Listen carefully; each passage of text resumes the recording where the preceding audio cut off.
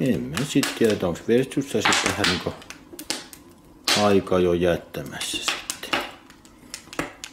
Meidän täytyy sitten mennä pipitätille sit vaan, niin ei sit auta muutakaan.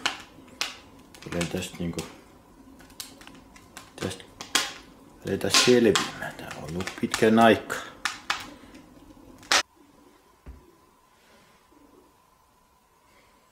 Se on itsenäisyyspäivä 2019 ja, ja tota no, niin, tässä tämä mun pitkäaikainen soturini, kaveri, ei mulla oikeastaan muita kavereita olekaan, kun tämä Vertti Kissa, se on mun 12 vuotta kohta, on kanssa samaa taivolta mennyt. On joulukuun 17. päivä ja kello on noin 10 vaali yksi.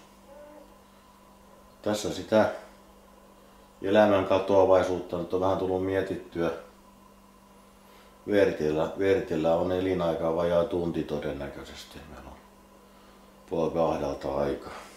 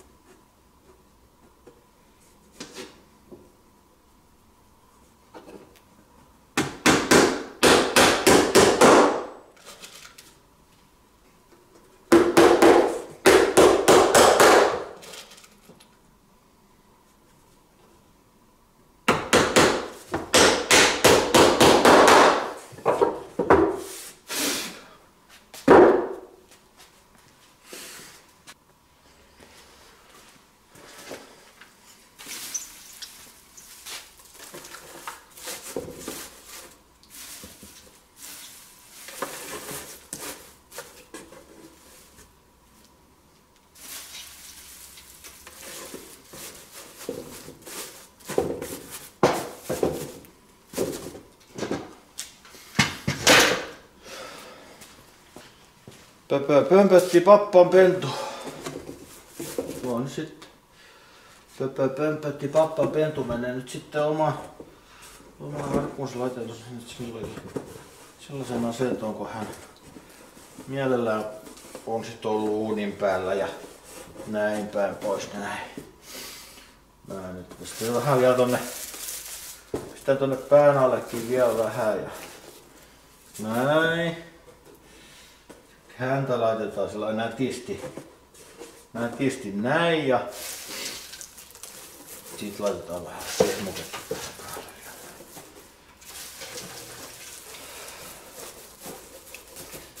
Näin ja sitten laitetaan Vertille oma kansi päälle. Tästä tulee kansi. Tiivis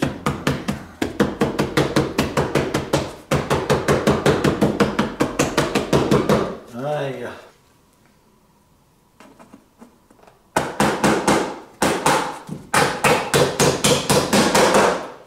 itse hautausta mä sitten tota kuoppaamista mä en dokumentoi.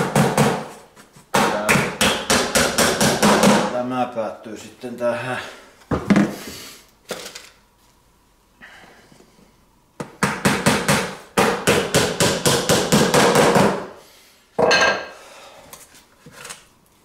Siinä on Vertin, Vertin viimeinen leposi ja